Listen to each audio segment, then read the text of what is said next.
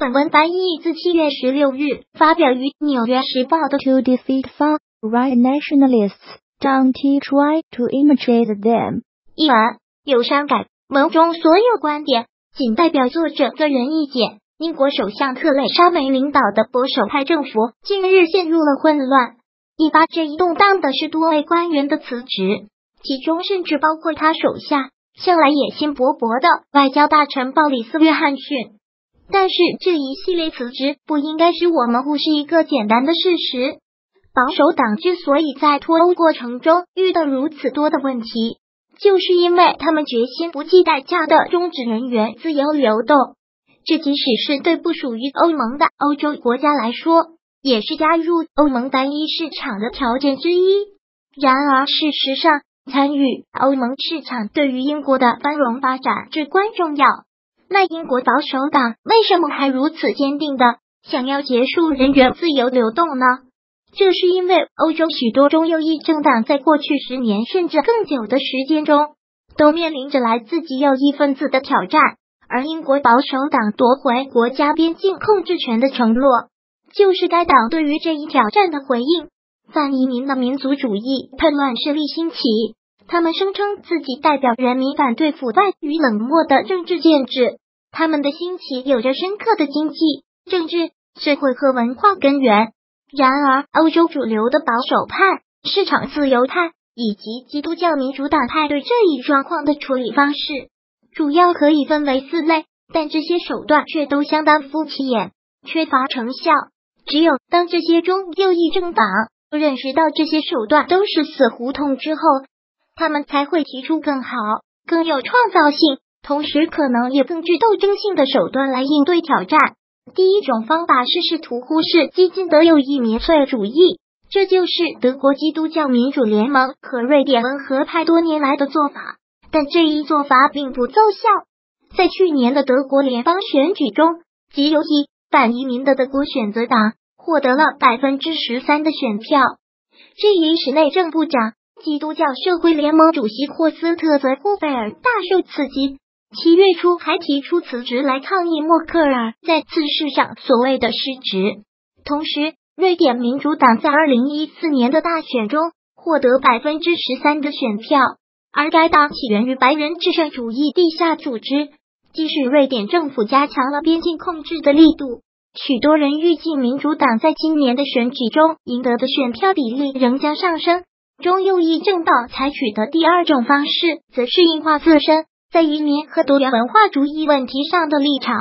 承诺向外来移民施加阻力。法国、荷兰、丹麦和英国的中右翼势力曾尝试过这种做法，然而这一手段的结果也同样不理想。极右翼国民阵线在二零一七年法国总统大选中进入最终轮，同样极端的荷兰自由党依然健在。丹麦人民党在二零一五年大选中获得了百分之二十一的选票，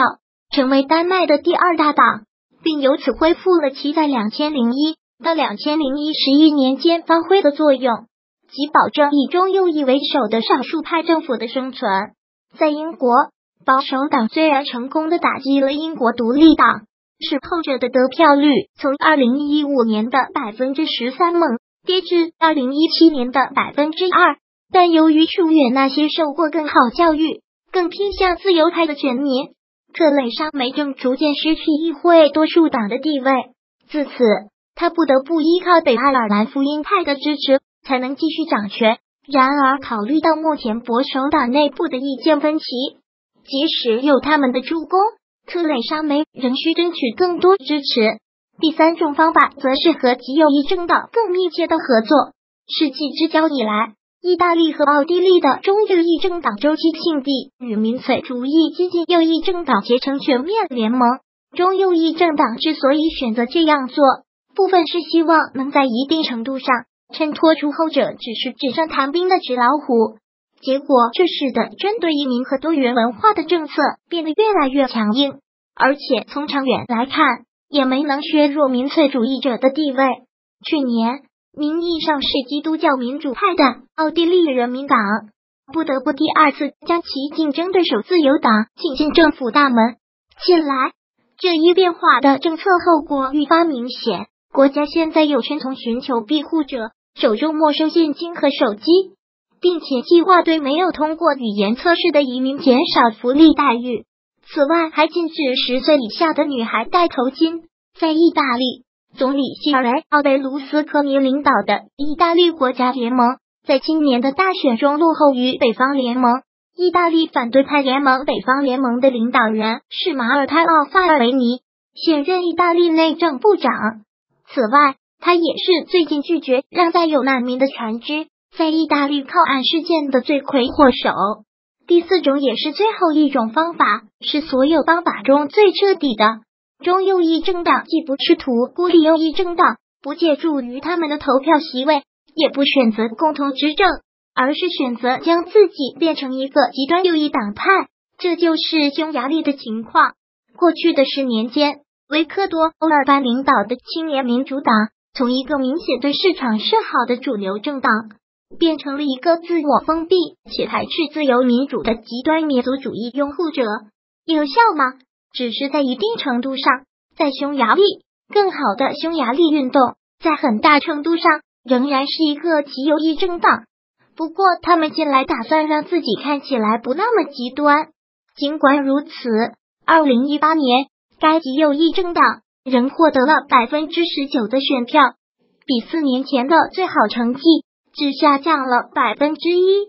然而，这百分之一的胜利却是以相当高的代价换来的。综上，中右翼政党如果想要打击右翼激进民粹主义叛乱，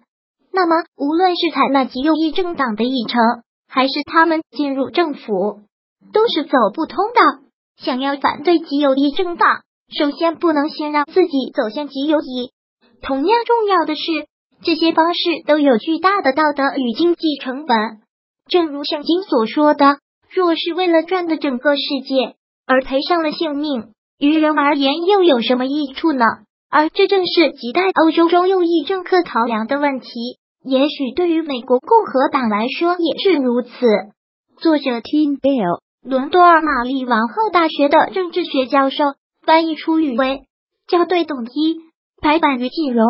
如果喜欢本视频，请分享并订阅本频道，访问 tt news 点 xyz 获取更多相关资讯。